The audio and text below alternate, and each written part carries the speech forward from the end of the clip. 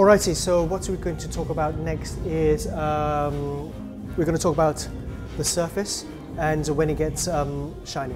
So when you're out and about um, carrying around your smart doll, especially when they're wearing shorts, um, their thighs can um, become quite shiny.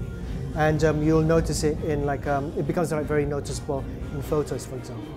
So this one over here, you'll notice, if you notice it's like really, really can, can you see that shine? It's really, really shiny, right? And um, that, that's what's going to happen. Um, the oils uh, from your hands is going to like um, get onto like um, the smart doll, and um, it just looks um, it just looks really weird. So it's best to like get rid of this. So you can actually get rid of that with some melamine, not melamine, this is the melamine sponge over here. Okay, so what you can do is, if you like to like come over here, okay, can you see that shine over there? Okay, now if you apply this, what you notice is that you actually remove quite a lot of it. Can you see that? It's like completely disappeared. That's kind of, kind of cool actually. Um, you got a bit more sheen, shine over here. So again, use melamine sponge.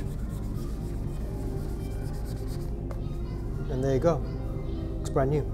It's kind of cool actually. Some more on the back over here, very shiny.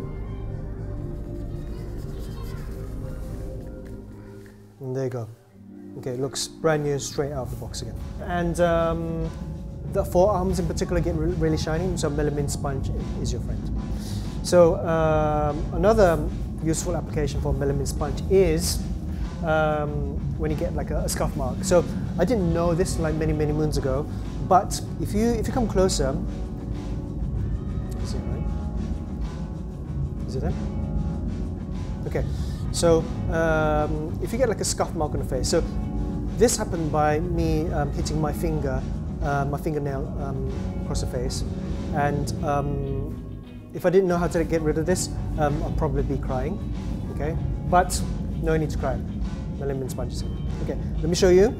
Okay, I'm going to show you how this works, so that you know I'm not using like a CG to like remove it. Okay, you can see that there, right? Just rub really, really lightly.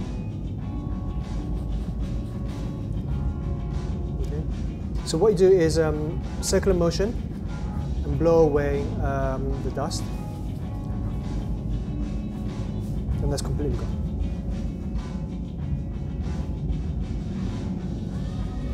Okay, so that's how you get rid of um, scuff marks on the face. So you don't want to be rubbing too hard, otherwise you can remove the paint. Um, we use special um, paints designed for vinyl, and um, so they don't really come off that easily, but they would come off if you kind of like really try to rub it off with, um, with sandpaper.